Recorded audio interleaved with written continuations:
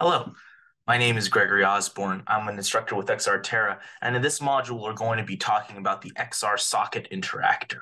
The XR socket interactor is not intended to be put onto your hands. I'm actually going to go ahead and create myself a, a, bit of a setup here. I'm going to create for myself a sphere. This sphere is going to represent my socket, and I'm going to put a cube above it. Let me just create a 3D object. Here's a cube. Let's make it so that it's uh, like above this game object and that it's going to fall into it basically. I'm going to make this box an XR grab interactable component and it's going to automatically add a rigid body and that rigid body has used gravity checked. So this box theoretically should fall towards this sphere.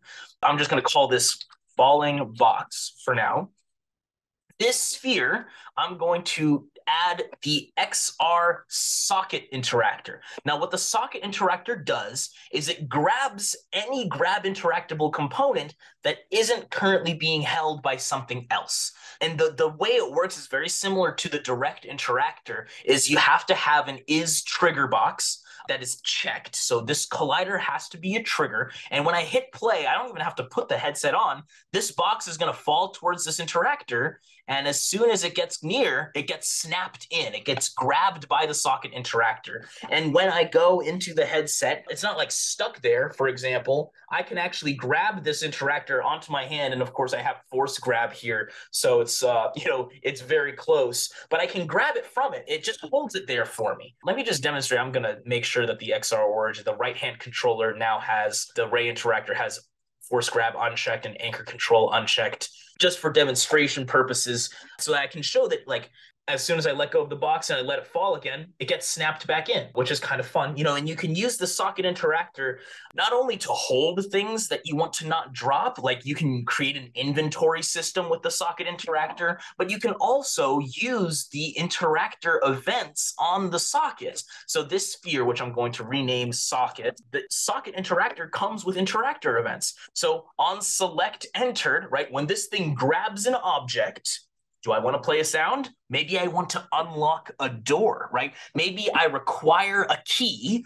And when the key is dropped into this socket, then it unlocks the door. Maybe I, I now have access to some sort of chest. Maybe it plays a victory sound. Maybe I win the game when I put the key into this lock. So you can use socket interactors for a lot. Now, when I talked about using the socket as a key to a door, this might be a problem if you have a large amount of grabbable objects because the socket interactor doesn't differentiate between grab interactable objects. If I create a duplicate of this, it'll have to choose one of them to hold. Here, how about this? I'm going to make this falling box. I'm going to duplicate it and I'm going to move one above it. And our goal is going to make this socket reject the first box, but accept the second box what we can do is use the interaction layer mask. So the interaction layer mask, this is something that you might have actually seen a pop-up for when we first installed the XR interaction toolkit, but the interaction layer mask lets us create and set up layers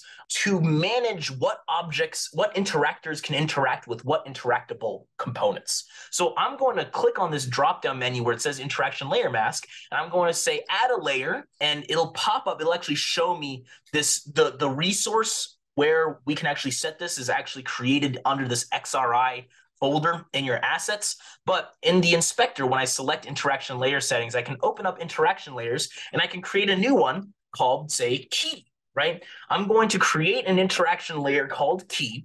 I'm going to make this socket accept only keys. And the way I can do that is by selecting the XR socket interactor, finding that component in the inspector, using this dropdown and checking nothing. So right now it accepts nothing, and then I can check key. So this box only accepts key interactables. So this first falling box, this is not going to be a key. We're going to leave the grab interactable layer mask, the interaction layer mask. This is this is a layer mask that exists on both interactable components and interactor components. So this one's interaction layer mask is just going to be default.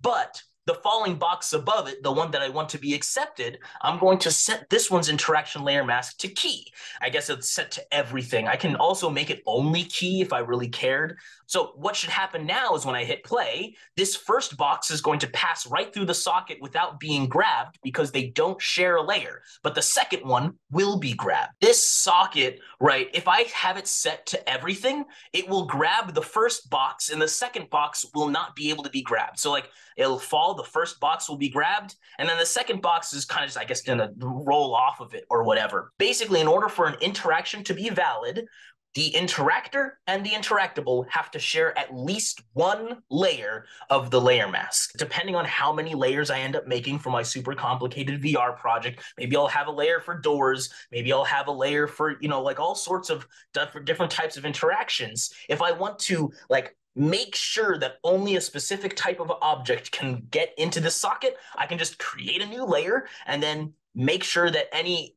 all interactable components don't include that layer except for the type of object that I care about. I could like make sure that nothing has key except for this particular object. I would make sure that, you know, it's default. This socket, I would make sure that it only accepts keys.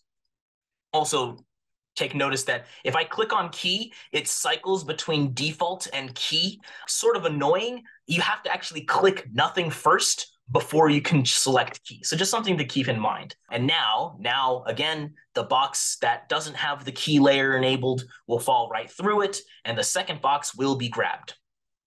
Success. That'll be everything for the XR socket interactor. Hopefully we'll see you in the next module. Thank you for watching.